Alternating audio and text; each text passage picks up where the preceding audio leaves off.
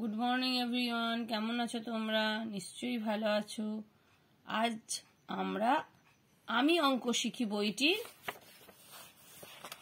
ছয় পাতা। শতকিয়া, পড়ো এবং শেখো, পড়ব। এক এ চন্দ্র। এ দেখো, এটা এক, এইভাবে এক লিখতে হয়। তাহলে একে চন্দ্র, এ দেখো, এটাকে চাঁদ বলে। তাহলে একে চন্দ্র মানে একটি চাঁদ। একটি চাঁদকে বলছে একে চন্দ্র চন্দ্র মানে চাঁদ। দুই এ পক্ষ, এটা দুই। এটাকে দুই বলে দুইয়ে পক্ষ, অর্থাৎ আমাদের দুটি পক্ষ, শুক্লপক্ষ, কৃষ্ণপক্ষ, এটা তোমরা বড় হয়ে পড়বে। দেখো দুয়ে পক্ষ বলতে একটা শুক্লপক্ষে বড় চাঁদ ওঠে আর কৃষ্ণপক্ষে অর্ধেক চাঁদ ওঠে। যে গোলাকার একটা চাঁদ আর অর্ধেক চাঁদ, এই দুটোকে দুটো পক্ষে ওঠে।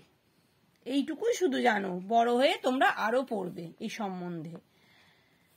তিনে নেত্র। তিনে নেত্র, আমাদের যে তিনটি নেত্র মানে হচ্ছে নয়ন বা চোখ।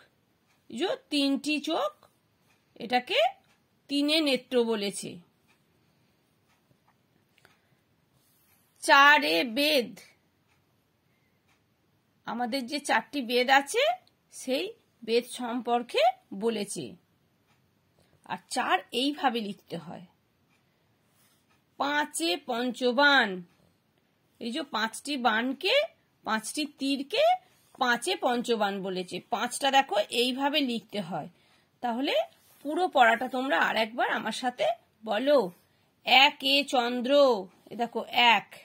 একে চন্দ্র দুই এ পক্ষ যে দুই দুই এ পক্ষ, তিন এ নেত্র যে তিন তিন এইভাবে লিখতে হয়। চার এ বেদ চার এই দেখো, পাঁচ এ পঞ্চবান যে পাঁচ। পুরো পড়াটা তোমরা মন দিয়ে ভালো করে পড়বে। পড়া হয়ে গেলে বইটি বন্ধ করে রাখবে। Good bye everyone